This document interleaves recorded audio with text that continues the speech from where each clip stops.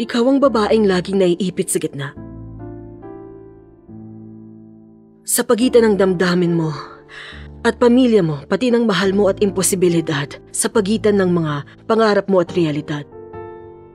Pero wag mo itong piliin. Huwag mong kalimutan.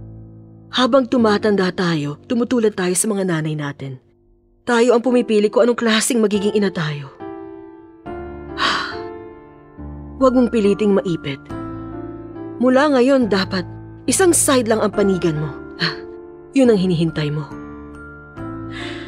Kapag naiipit ka na sa pagitan ng pangarap mo at ng realidad, piliin mo ang realidad. Kahit kaano pa ito kasakit.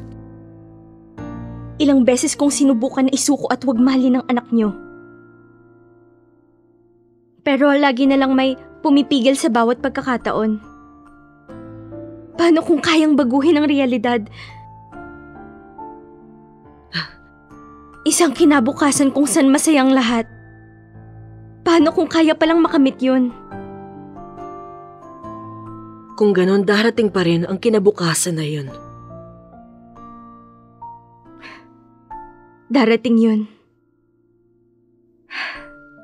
Endless Love Season 2. All new episodes. Weeknights at 8. Exclusively on ETC.